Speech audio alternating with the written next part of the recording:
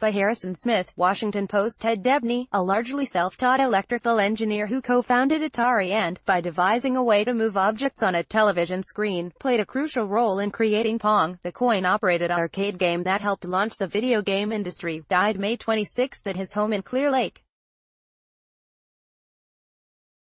He was 81. The cause was esophageal cancer, said his wife, Carolyn Dabney.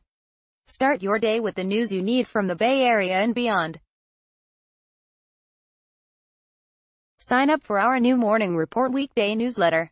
Dabney was the Steve Wozniak of Atari, said video game historian Leonard Herman, referring to the Apple co-founder whose engineering brilliance was sometimes overshadowed by chief executive Steve Jobs, the company's public face. With Atari co-founder Nolan Bushnell, a one-time carnival barker, Dabney created the world's first mass-produced video game, a bulky and complicated arcade machine called Computer Space. The game was a commercial failure but a stepping stone to Pong, a digital version of ping pong in which players move blocky white paddles up and down the screen.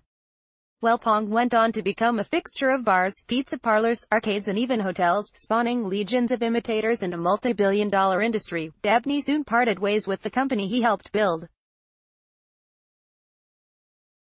He sold his share of Atari for $250,000, worked for semiconductor manufacturers and eventually ran a grocery store with his wife while living in the Sierra Nevada.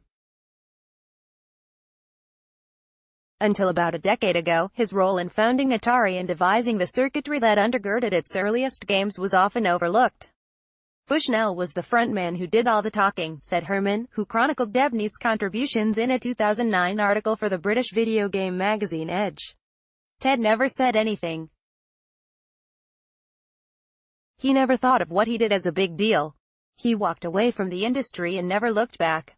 Yet his skill with circuitry, honed in part while serving in the Marine Corps after graduating high school, made him a pivotal figure in the history of early video games. He devised the form that the arcade game would take when he did Computer Space, said Chris Garcia, curator at the Computer History Museum in Mountain View, California. Dabney, he said in a phone interview, built a standing cabinet to house the game's circuit board, power supply and television monitor, and his engineering methodology became a major influence on Allan Alcorn, the engineer hired by Bushnell and Dabney to create Pong. Samuel Frederick Dabney Jr. was born in San Francisco on May 2, 1937. His parents divorced when he was a child, and he was raised primarily by his father, an accountant who worked with Bay Area restaurants. Dabney, who never went to college, said he mostly trained himself on the job and while taking classes as a Marine. He worked with the research department at Bank of America, developing early scanning devices for travelers' checks, before joining Hewlett-Packard and then Ampex, an electronics company that produced early tape recorders and products for the military. Eventually, he came to share an Ampex office with Bushnell, with whom he bonded over chess and the Japanese game of Go. The collaboration that resulted in Atari began not with a video game but with the younger Bushnell's dream of combining a restaurant with a carnival or arcade. His whole thing, Dabney told the magazine Fast Company last year, was a pizza parlor with talking beer barrels. The duo began building out the idea, visiting restaurants together for inspiration, when Bushnell became intrigued by Space War, an early computer game created at MIT.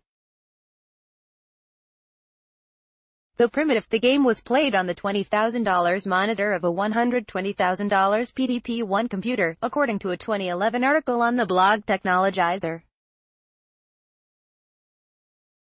Bushnell began wondering whether a similar game could be played on the cheap, with little more than a modified television set. Dabney, working closely with Bushnell, found a way to manipulate a TV's video signal to do just that in 1969. Though he didn't realize it at the time, his innovation occurred two years after a similar breakthrough by Ralph Baer, considered the father of video games, who later developed the Magnavox Odyssey console system. Converting one daughter's bedroom into a workspace, Dabney created a prototype of what became Computer Space, in which a player controlled a rocket ship to shoot down a flying saucer. The game was eventually released in 1971 through the manufacturer Nutting Associates. Dabney and Bushnell had by then formed a company with an all but unpronounceable name, Syzygy, S-I-H-C-U-H-G. They rechristened their business Atari in 1972, taking its name from a term and Go, and hired the babysitter for Bushnell's children as their first employee, a receptionist. Their second hire was Alcorn, an engineer whom they tasked with creating Pong. In a 2012 oral history with the Computer History Museum, Dabney said Bushnell had initially wanted to kick off their new company with a driving game, before seeing a demonstration of a ping-pong game on Baer's Odyssey video game system. We had seen the Odyssey game, and it made sense. Dabney said, a ping-pong game is pretty simple. So we decided, we'll do that. And so well, in about three weeks, he had it all done. The finished machines were sold for $937 each. Herman reported an edge because Dabney looked out at the parking lot of their office complex one day and noticed a car that had the number 937 on its license plate.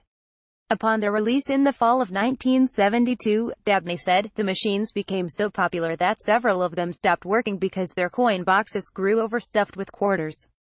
As the company's success grew, relations between Dabney and Bushnell deteriorated, with Dabney expressing frustration at what he saw as Bushnell's overriding focus on money.